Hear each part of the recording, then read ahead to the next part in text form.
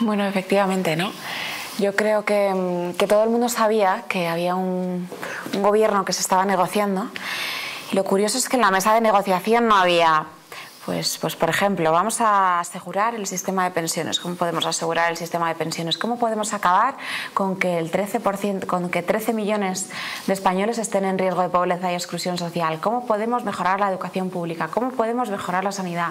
¿Cómo podemos volver a repoblar la España vaciada? Bueno, nada de esto estaba en la mesa de negociación de la coalición.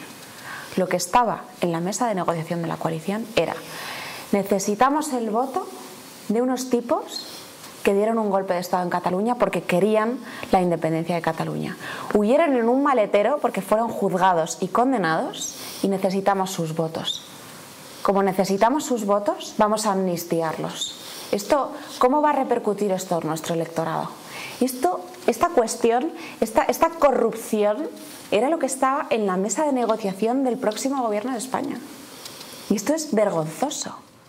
Esto es, y es intolerable. Está vendiendo la democracia española por siete votos. Es que es así, de crudo. No, y yo creo que más allá se está, se está vendiendo el patrimonio cultural identitario de todos los españoles. Al final es, es, es, lo que está en juego, es casi, casi una cuestión metafísica, si me lo permites. ¿no? El, España es patrimonio de todos.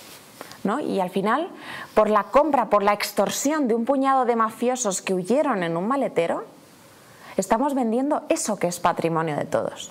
Yo creo que, hoy, en realidad, pues, pues hemos salido a la calle a decirlo, pero están siendo unas jornadas muy tristes, ¿no? sabiendo que, en realidad en los despachos se está, negociando, se está extorsionando y se está intercambiando eh, lo que es el patrimonio cultural identitario de todos los españoles.